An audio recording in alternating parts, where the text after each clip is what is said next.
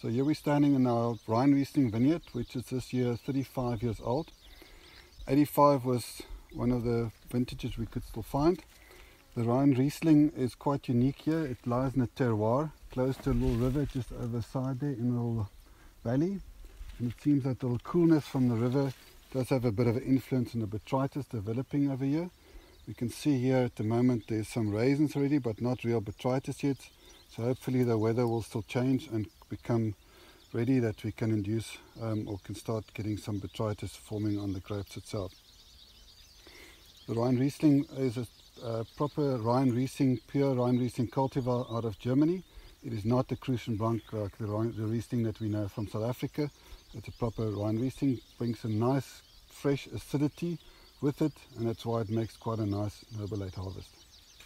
Yeah, and just to add on the acidity, I think that's probably the key in, in this block. Um, with the maturity and the deep roots, one would think it would be better for a still wine to use these old vineyards. But I'm telling you, since I started working at this block, has just produced some of the most magical noble late I've seen. In, includes our 2019 as well, which we just heard is top 10 wine magazine. So, uh, what's more fitting than having some Edelspatz in the Rhine Riesling block like we're going to have right now? Cheers. Good job. Cheers.